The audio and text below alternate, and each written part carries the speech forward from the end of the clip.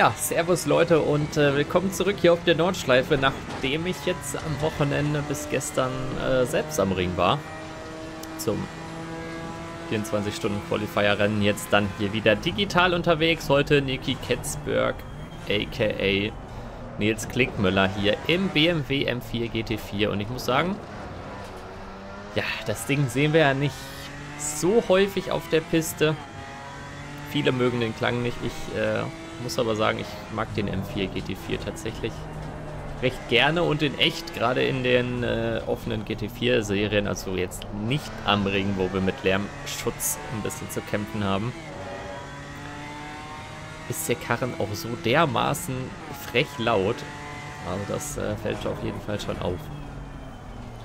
Ja, ich bin jetzt sehr gespannt, was der Nils jetzt hier anstellt. Ich denke, ja, was haben wir denn bis jetzt gesehen? Wir haben eine 48X äh, gesehen vom Alpine. Ich habe auch schon eine McLaren-Runde aufgenommen, die solltet ihr noch nicht gesehen haben.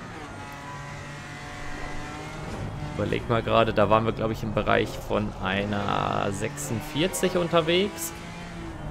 Heißt also, wir werden uns, denke ich mal, mit allen GT4-Runden irgendwo zwischen 46 und 49 bewegen. Also die Bob scheint gar nicht mal so verkehrt zu sein. Werden das aber natürlich auch nochmal im Auge behalten. Der GT4-Klasse, dafür, dass sie zwar nicht so, so beliebt ist und so gerne benutzt wird, finde ich eigentlich ganz schön, dass die Autos doch ja, sehr unterschiedliche Charakterzüge dann äh, mitbringen und da ja gewisse Stärken und eben auch Schwächen haben. Also da haben wir spannend. Es reicht, wenn er hier einfach das Gas ein bisschen wegnimmt. Okay. Ähm, da haben wir einen Alpinen beispielsweise hier, die relativ wenig Leistung dann hat. Dann kommt hier der M4 GT4, der wahrscheinlich einfach mal...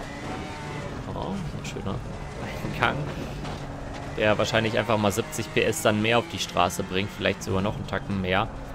Und dann, ja, gibt es ganz unterschiedliche Fahrzeugkonzepte. Wir haben den Camaro, der einfach nur einen richtig, richtig dicken Dampfhammer dann hat. Sich auch unglaublich geil anhört. Also da freue ich mich jetzt schon auf die Runde.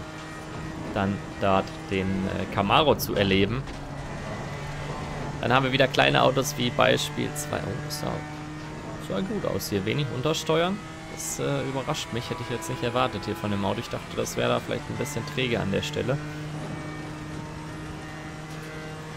Mal hier, was er jetzt hier am äh, Schwedenkreuz macht. Auch 2,67 ist schon echt viel, ja. Muss hier dann aber doch noch eine ganze Ecke verzögern. Jetzt hier dritter Gang.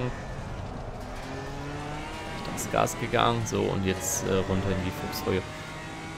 Ja, der KTM, der ja schon fast so ein bisschen Richtung Go-Kart-Feeling geht und natürlich nochmal eine Ecke leichter ist und vor allen Dingen auch kleiner, deutlich kleiner.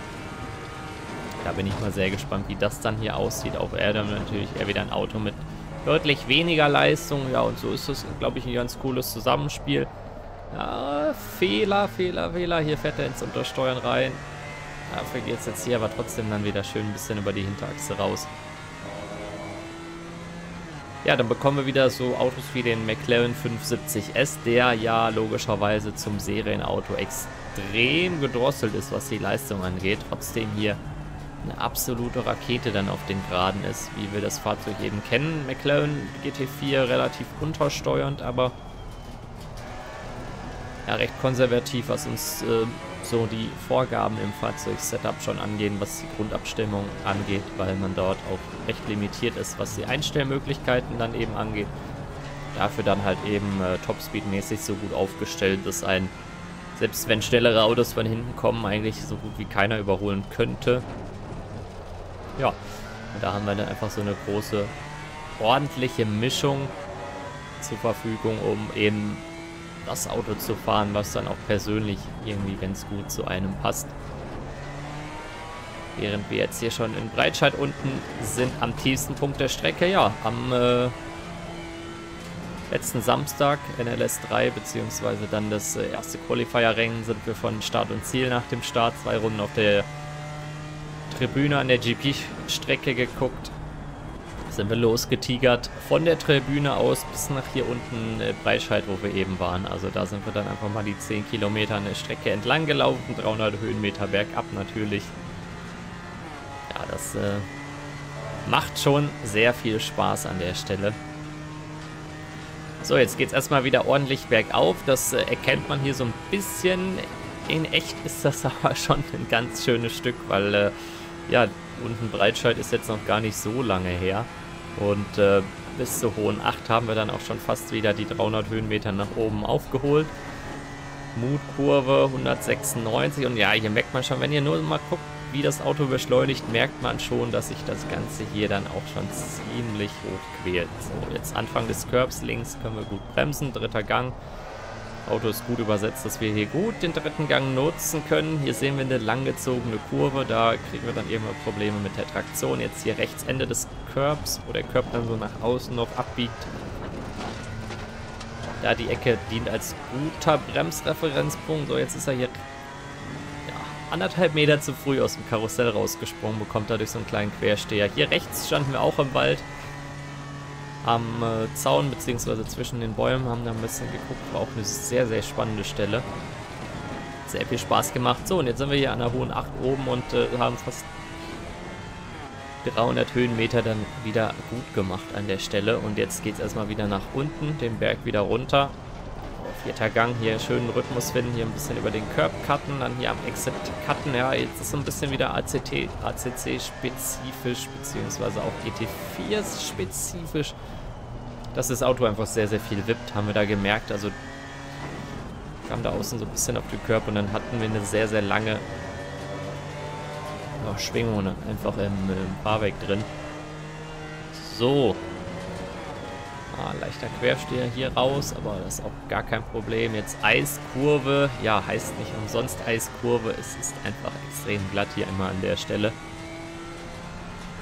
Vierter Gang, fünfter Gang, jetzt am besten wieder kurz vor der Kuppe ein bisschen bremsen. Ja, das ist echt krass, weil im Racing hat man sich das damals so anders angewöhnt. Da hat man echt vor der Kuppe gar nicht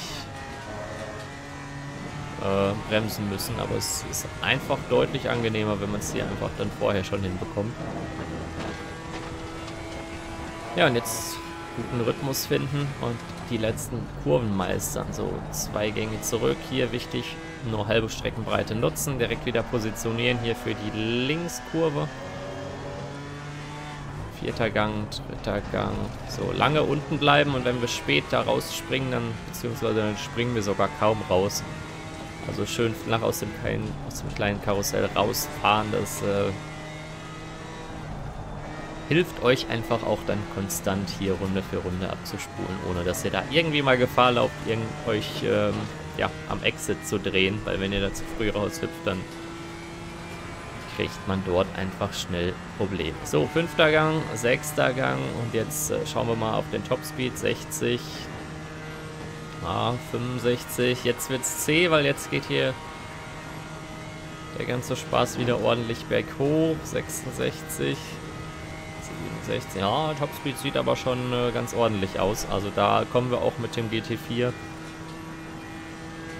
sehr, sehr gut mit. 74 in der Senke. Ja, jetzt ja, müssen wir hier schon ein bisschen verzögern. Oder beziehungsweise das Auto verlangsamen, ein bisschen aus dem Gas rausgehen. Denn äh, es geht uns da im schlimmsten Fall ein bisschen die Strecke aus. So, jetzt geht es über die Linie und die Uhr bleibt stehen bei einer... Was ist es? Ja, ich konnte es nicht genau sehen. 8, 48, na, 6. Ja, jetzt sehen wir den ganzen Spaß hier nochmal von außen. Also ich äh, muss sagen, ich genieße das sehr. Die unterschiedlichen Fahrzeugkonzepte, die unterschiedlichen Fahrzeugklassen hier einfach zu kommentieren. Und ich glaube, jede Klasse hat hier so ein bisschen was für sich. Was man auf jeden Fall sagen kann, ist, ja, gerade wenn ihr neu seid, wenn ihr die, die Nordschleife noch lernt, dann ist es natürlich sinnvoller, erstmal mit einem kleinen Auto anzufangen. Einfach, weil es nicht ganz so schnell ist. Die Nordschleife ist sehr, sehr kompliziert. Es ist sehr wichtig, technisch, technisch sauber zu fahren und mit einem kleinen Auto, gerade in Multiclass-Rennen, bekommt ihr auch schnell ein Gefühl dafür, wie man sich im Verkehr verhält. Wo es als schnelleres Auto Sinn macht zu überholen, wo das tierische Probleme macht. Ihr seht nämlich auch, wenn jemand euch mal irgendwie überholt oder überrundet, an welchen Stellen das wirklich, wirklich heikel wird. Und äh, so funktioniert es ja auch in echt. Also am Nürburgring gibt es ja ein Permit. Man muss erst mit einem kleinen Auto fahren. Permit-Autos mittlerweile ja, so weit erweitert, dass man auch mit einem Cayman GT4 in der Cayman Trophy von Mantai oder auch mit einem TCR seinen Permit machen kann. Allerdings dafür werden die Autos gedrosselt. Also beispielsweise der JP McLaren, der war jetzt beispielsweise am Wochenende auch vor Ort. Und äh, die Jungs haben dann dort im äh, TCR ihren Permit gemacht. So ein TCR-Auto ist eigentlich schon echt, echt fix mit 350 äh, PS. 1200, 1300 Kilo ungefähr. Und so ein Auto beispielsweise bekommt dann in dem Falle mal 60 PS raus und knapp 100 Kilo rein, um eben ja, gewährleisten zu können, dass das Auto dann nicht zu schnell wird, dafür euren Führerschein zu machen. Als würdet ihr einen Führerschein machen und ihr dürftet Maximum 150 PS fahren, so nach dem Motto. Ja, und da müsst ihr eine gewisse Anzahl an Runden erfüllen und dann bekommt ihr quasi euer Permit und dann könnt ihr auch größere Autos fahren. Finde ich eigentlich ein ganz äh, sinnvolles Konzept hier auf der Nordschleife, um da eben ein ordentliches Gefühl zu bekommen. Ja, apropos TCR-Fahrt von JP. Die Jungs sind auch auf dem C-Day, allerdings da nicht mit dem Cupra TCR, sondern mit dem äh, Hyundai i30N TCR. Und wenn ihr da mal Bock habt auf so eine Taxifahrt in einem TCR-Fahrzeug, dann checkt gerne die Videobeschreibung aus. Da ist unten auch noch einiges verlinkt. Ansonsten, wenn ihr Bock habt auf das Setup vom Nils, dann äh, ja, ebenfalls die Beschreibung aufklappende habe ich euch dann alles hinterlegt. Ansonsten bedanke ich mich fürs Dabeisein, fürs Zuhören und würde sagen, bis zum nächsten Video. Macht's gut. Ciao, ciao.